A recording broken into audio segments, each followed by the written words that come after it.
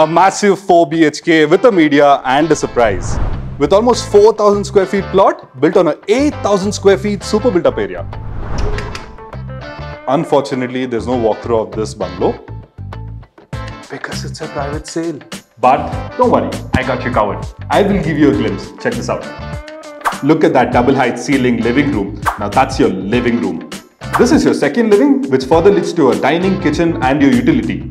A spiral staircase to go up, and look at that beautiful stone cladding with a waterfall on the back. That's your primary bedroom, which is a southwest, and this is Vastu compliant, my friends. And what's the surprise? Wait, Nimi, can you come? Nimi, what is this? Wow, it's a swimming pool. Exactly! Imagine a dedicated swimming pool on your terrace. Take a dip whenever you feel like it, my friend. And the owner has used what is Italian that word? Oh yeah, Italian marble and there's so much more. I can't fit everything in this video. So call me. Call me right now. I will explain you everything.